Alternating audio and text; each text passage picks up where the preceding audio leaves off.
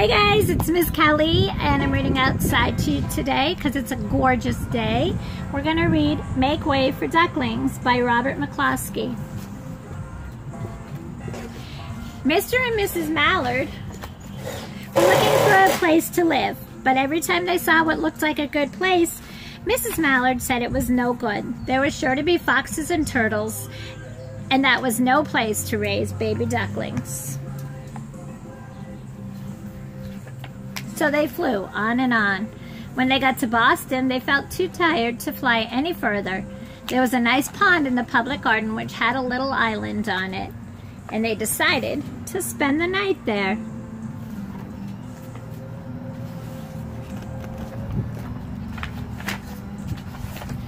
Just as they were getting ready to start on their way, a next day, a strange, enormous bird came by.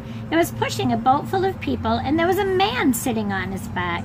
Good morning, quacked Mr. Mallard, being polite, but the bird was too proud to answer. The people on the boat threw peanuts in the water, so the Mallards followed them all around the pond and got a great breakfast. It's a swan boat. I like this place, said Mrs. Mallard as they climbed out on the bank. Why don't we build a nest and raise our ducklings here? Good, said Mr. Mallard, delighted that at last Mrs. Mallard had found a place that suited her. But just then, Look out! squawked Mrs. Mallard all of a dither. You'll get run over! This is no place for babies with all those horrid things rushing about. We'll have to look somewhere else bicycles. So they flew over Beacon Hill and around the State House, but there was no place there. Then they looked in Louisburg Square, but there was no water to swim in.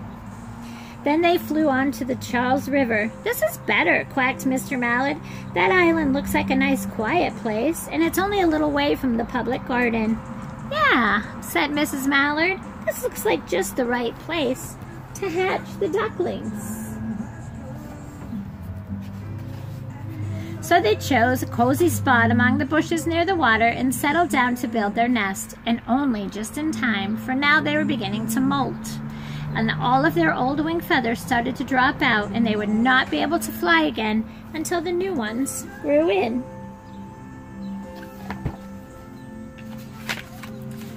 But of course they could swim, and one day they swam over to the park on the riverbank, and there they met a policeman man named Michael. Michael gave them peanuts. And after that, the Mallards called on Michael every day.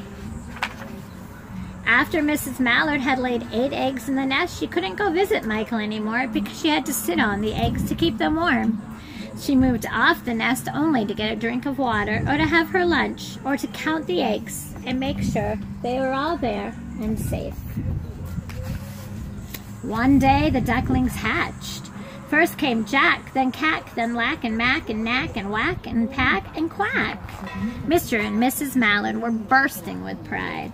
It was a great responsibility to take care of so many ducklings, and it kept them very busy. One day, Mr. Mallard decided he'd like to take a trip to see what the rest of the river was like further on. So he said, I'll meet you in a week, dear, in the public garden. Take good care of the ducklings. Don't you worry, said Mrs. Mallard. I know all about bringing up children. And she did. She taught them how to swim and dive. She taught them to walk in a line, to come when they were called, and to keep a safe distance from bikes and scooters and other things with wheels. When at last she felt perfectly satisfied with them, she said, Come along, children, follow me.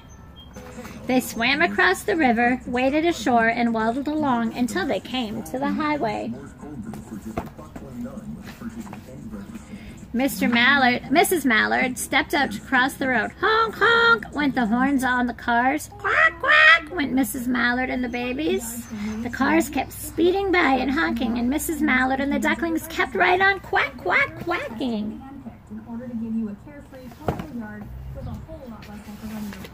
They made such a noise that Michael came running, waving his arms and blowing his whistle.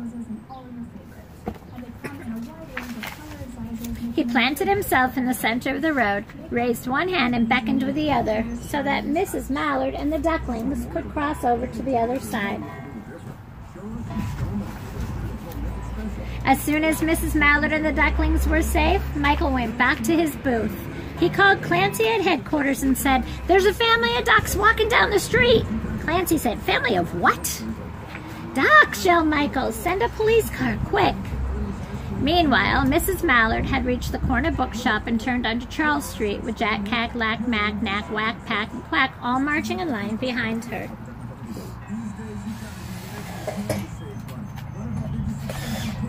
Everyone stared. An old lady from Beacon Hill said, Isn't it amazing? And the man who swept the street said, Well, now, ain't that nice? And when Mrs. Mallard heard them, she was so proud. When they came to the corner of Beacon Street, there was the police car with four policemen that Clancy had sent from headquarters. The policemen held back traffic so that Mrs. Mallard and her babies could cross the street. Inside the gate, they all turned around to say thank you to the policeman. The policeman smiled and waved goodbye. When they got to the pond and swam across the little island, there was Mr. Mallard waiting for them, just as he had promised.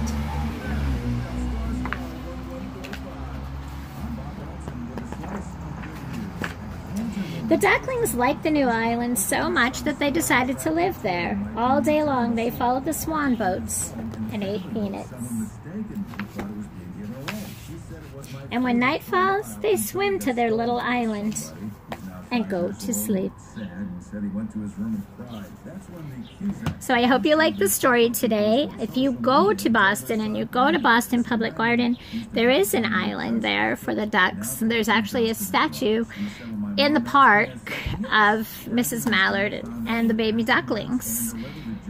And you might even see police officers stopping traffic for other ducks to cross. They're swan boats, and the swan boats are amazing and fun.